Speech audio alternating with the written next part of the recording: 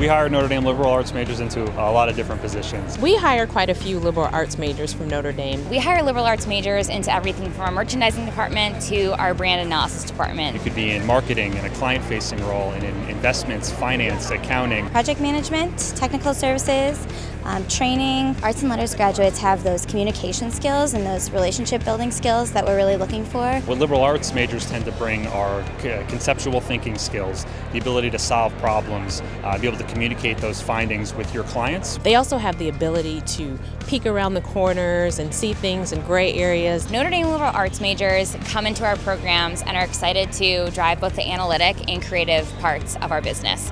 Um, being such a multifaceted global brand, it's really important that we have people that can think about our business in different ways. Diversity of thought is very important as we think about the consumer, so it's good to get a variety of majors. We've seen arts and letters students from Notre Dame be successful regardless of the major that they came from. An arts and letters graduate would definitely thrive in a number of positions that we have at Epic.